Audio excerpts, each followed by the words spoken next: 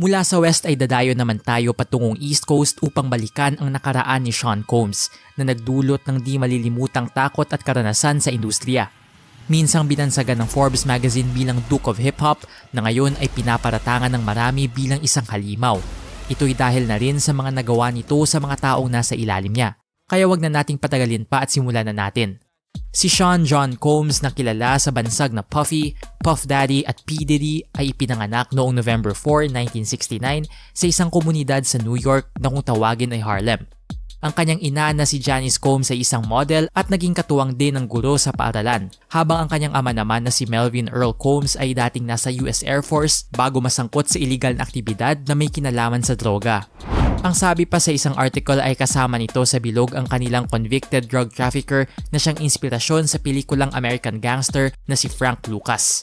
Naging dahilan para makonsidera itong tatay niya bilang malaking isda nung panahon ng epidemya sa droga ng ilang bahagi ng New York. Sa gantong aktibidad nga rin maagang kukunin ang kanilang ama Matapos kasing mapagkamalang asset sa isang palpak na transaksyon ay tinamo nito ang bala na tatapos sa kanyang buhay taong 1972 at kasalukuyang nasa tatlong taong gulang lang ang walang kamalay-malay na si Sean. Dahil sa walang pagpipilian, hindi lang isang trabaho ang pinasok ng kanyang ina habang pinalalaki silang mag-isa nito sa magulong bahagi ng New York. Sa pagtungtong ni Sean sa labindalawang taon ay nagpasya na ang kanyang ina na lumipat sa Mount Vernon sa kagustuhang maiba naman ang karanasan ng mga anak.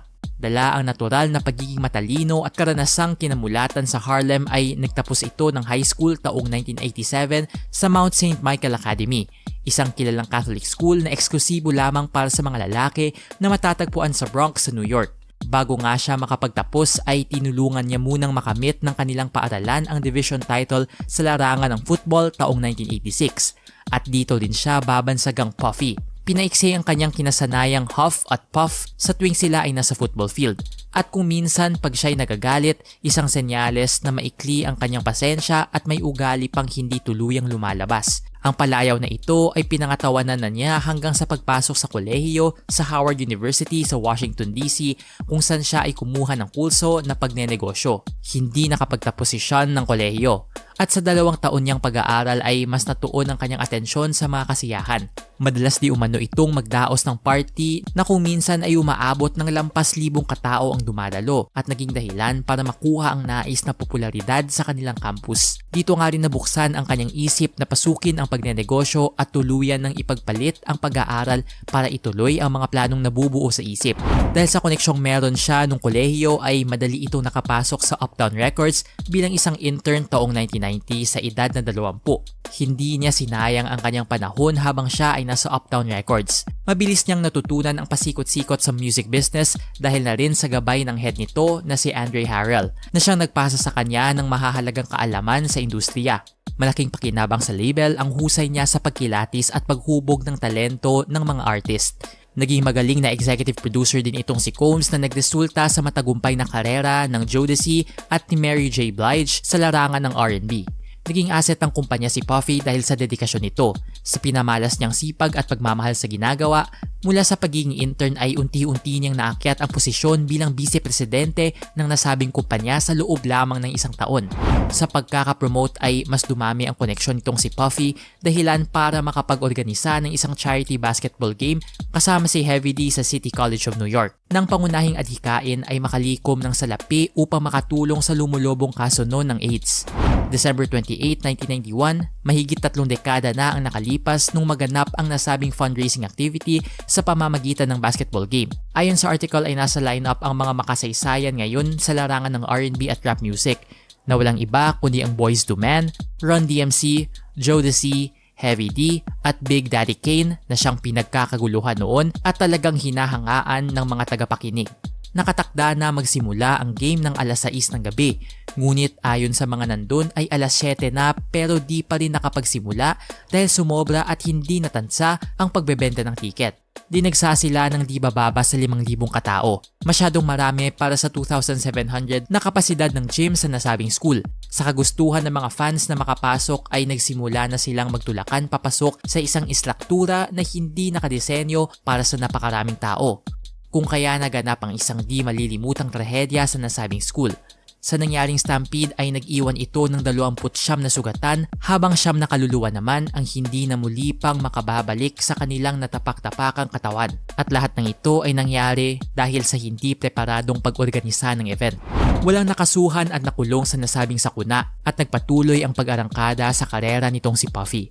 Taong 1992 nung nakuha ang atensyon ni Combs ng bagitong rapper na si Christopher Wallace. Ito'y nung umabot sa kanya at mapakinggan ang demo tape na may pamagat na microphone murderer sa likod ng palayaw nitong Biggie Smalls. Nakitaan niya ng potensyal ang binata at nabigyan niya ito ng pagkakataon na makapirma sa isang record deal sa ilalim ng Uptown Records. Ayon sa info, nakasama ni Biggie ang Heavy D and The Boys sa kantang may pamagat na A Bunch of Niggas na nai-release December 1992 at pagkatapos nun ay wala nang sumunod na proyekto si Biggie bukod sa album na hindi na i-release dahil umano sa mga nilalaman ng lyrics nito na karanasan niya sa streets. Pagkatapos nga na mahold ang proyekto ng kanyang pambato ay nagkaroon na rin ng hindi pagkakaunawaan sa pagitan ng master at ng estudyante. Ang ibig ko sabihin ay may napapansin na itong founder ng Uptown na si Andre Harrell sa pag-uugali ng kanyang kanang kamay sa kumpanya o ang vice-presidente nito na si Sean Puffy Combs.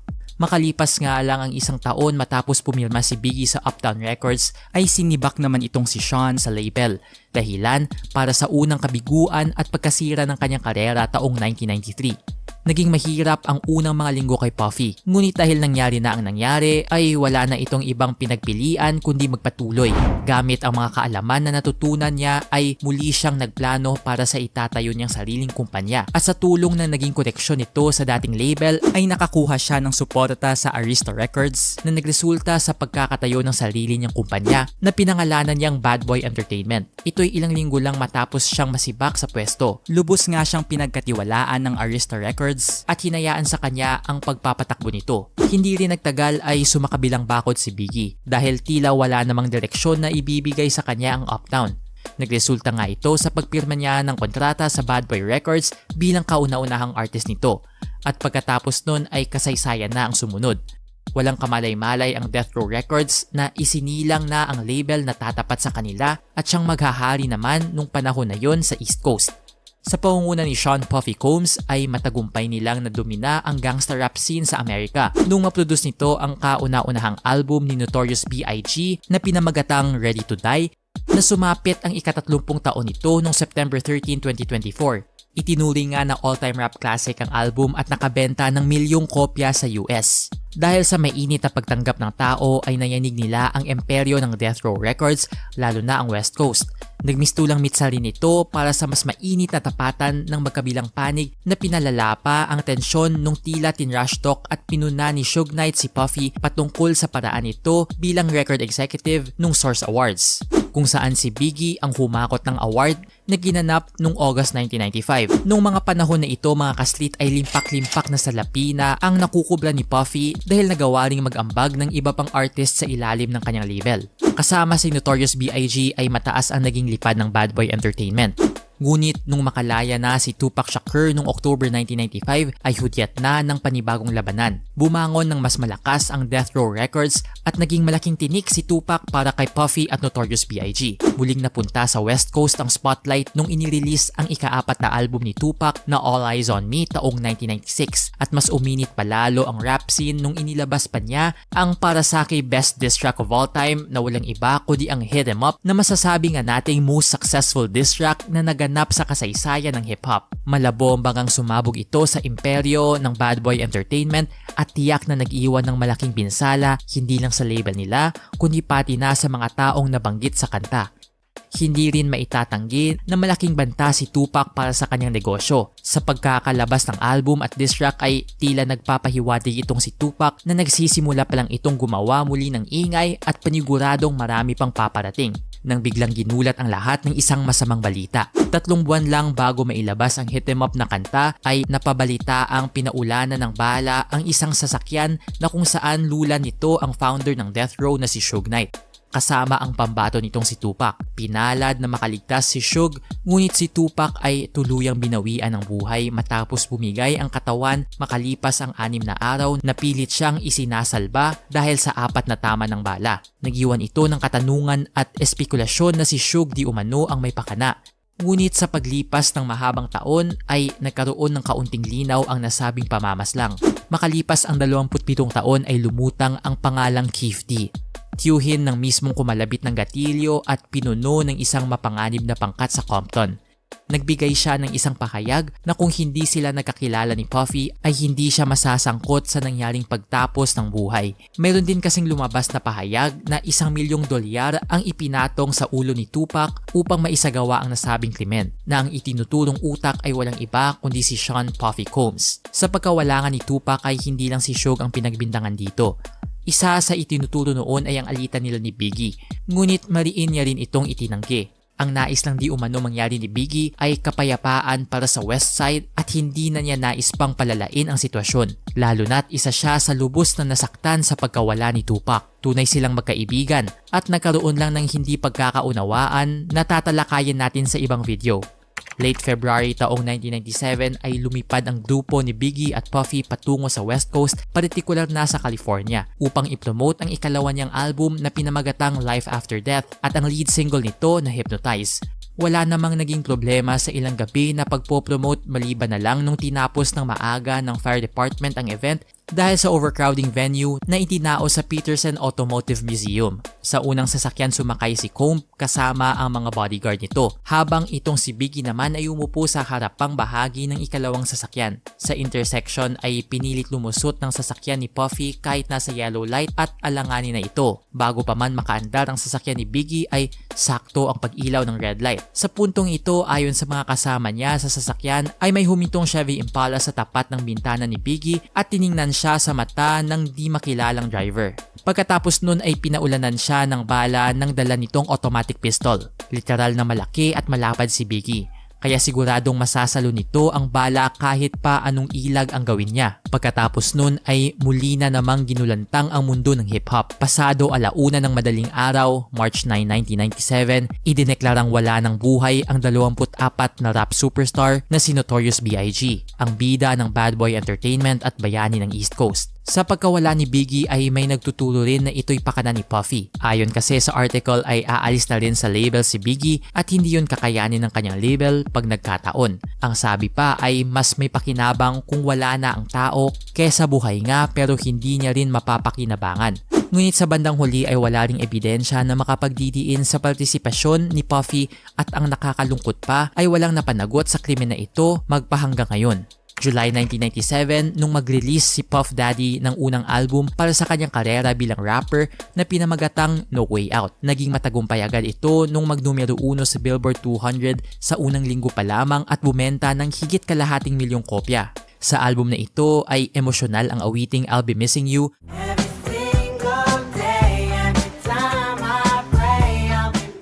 album ay tumanggap din ng limang nominasyon sa Grammy na kung saan ay nasungkit nito ang Best Rap Album.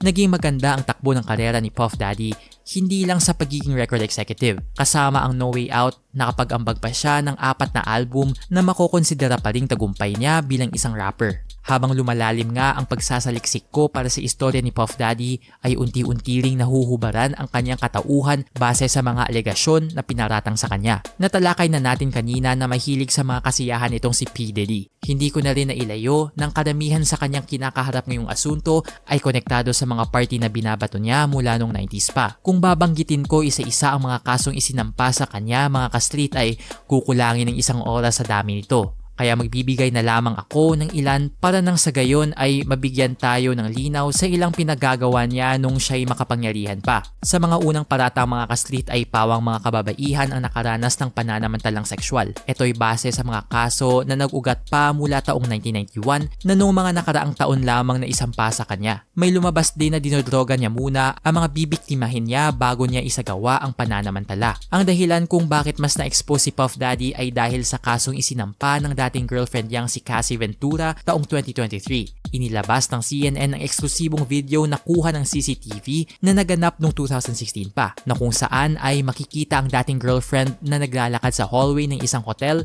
na may bitbit na mga gamit. Kasunod nito ay tumatakbo si Puff Daddy na nakatapis lang ng tuwalya at nung maabutan niya ang dating kasintahan ay kinaladkad, sinipa at pinagbuhatan niya ito ng kamay. Ayon sa biktima ay matagal na siya nakararanas ng ganitong pagmamaltrato, hindi lang pisikal, pati na rin sexual. Sa patong-patong na kasong isinampa laban sa kanya ay naaresto si P. Diddy noong September 16, 2024 base sa sealed indictment na isinampa ng Southern District ng New York. Sa wakas, ang mahabang taon na katanungan sa parte ng mga naging biktima ay masasagot na at kung mapapatunayan ang mga ito ay tiyak na sa bilangguan siya mabubulok. Ang lahat ng pinaghirapan niya noon ay mababalewala at mas magiging miserable ang kanyang buhay sa loob ng kulungan.